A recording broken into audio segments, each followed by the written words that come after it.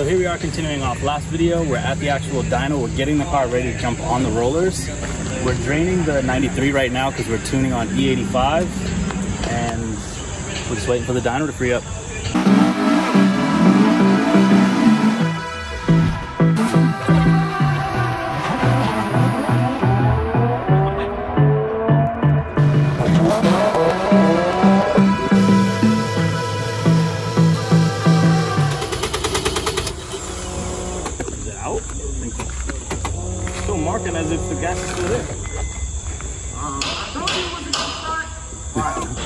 JC's in that shit. Ah, here we go. Yo, what Get the fuck out of the car. man. I'm gonna try Get one out. more. Would you put the E85 in? No, not yet. Nah, it's good. Yeah, it's out. Yeah, it's empty. All the fuel's gone? Yeah, I think so. It's just taking a little bit to catch up on the gauge. Yeah, it would the gauge. It wouldn't. Uh, the gauge. Which gauge? This one? No, no, no. The fuel, fuel gauge. What's it saying? How much is? Still at the quarter? Oh yeah, I mean it's gonna say that because it's, it's it hasn't been turned on. Uh-uh. Full. Nah, hold on. When you prime it, nothing's coming out. Sounds dry. Nothing's coming out? Like little drop. Not yet. Who cares? Okay, good. Oh. Two last questions. Should I leave the slicks on for the dyno or should I throw regular street tires on? I would rather you, because this will tear the tires up. My, my, my roll is like a cheese grater in these tires, and they'll, there'll be rubber everywhere. All You know what I right. So I'll throw mean? It won't gain you anything from having them on. Yeah. All it's gonna do is No, take, we, we were gonna bring them just like this. bro. It'll I take told him I was it'll like take that. thirty thou off, like in the dyno session. You know what I mean? A big horsepower car, bro. It'll take a quarter inch off. No, we the almost, we almost left the other tires. We was like, nah, Yeah, let's bring them just just in case. Yeah, you're better. You're better off. you- You're way better off. If you, when you're ready, when you put the 85 in it, it might run. So we'll get it. We'll get it to over there, and then what we'll do is we'll jack up the back, and you guys will change the tires right on the pavement over there. It's easier on the dyno, in, in the dyno. Okay, I guess I have the jack and everything. Yeah, you can do it right inside. Easy. And that way we're one step closer to being over there. I'm done. I'm done this car. I just gotta finish buttoning it up, and then we're good. Now we have time to do this. go button up, kid. Go, go, go. Think the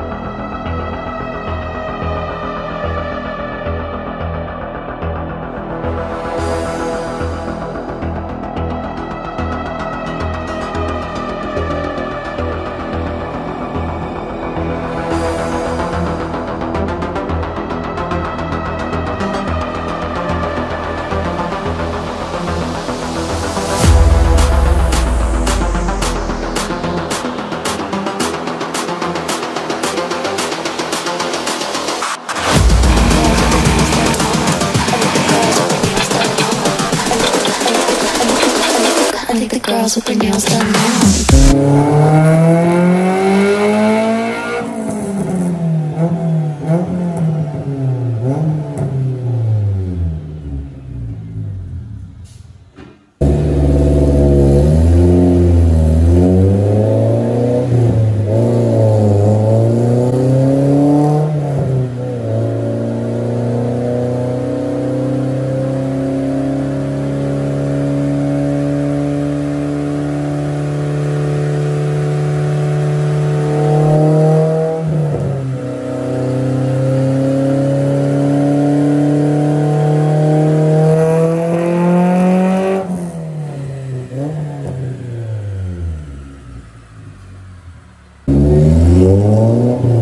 Hallelujah.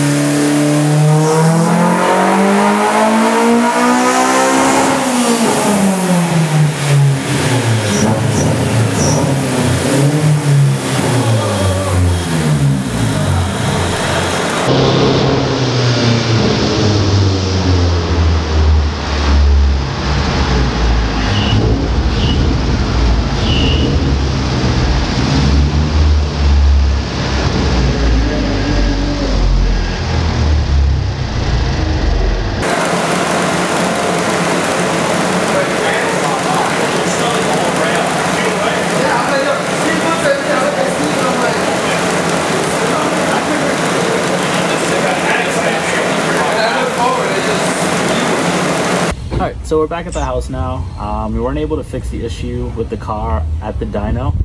So basically what ended up happening was I had both the 06 injector spacers for the grams as well as the 05 and down ones on at the same time and it spaced them up a little bit too high and then eventually the vibrations from everything backed off the bolts and it just sprayed fuel everywhere unbeknownst to me at the time that I had both adapters on at the dyno otherwise I would have just pulled them off and fixed it right there in five minutes and continue the session whatever I was mind was elsewhere Do we have a video of the fluid going everywhere? yeah Yeah. All I seen was like the guy like jump up and was like, "Oh, I feel wet." yeah I got it I'll, I'll put that here over this portion where we're talking so you guys get to see it. Yeah. Um.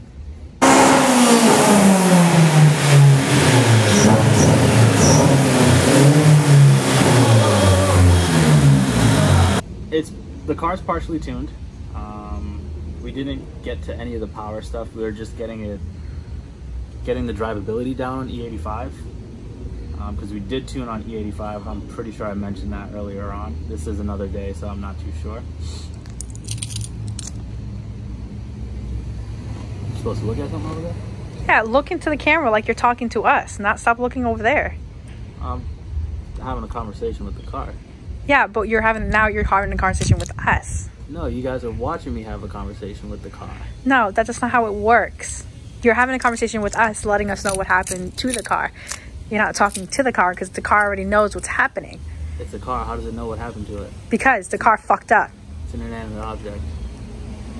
Talk to the camera. Okay.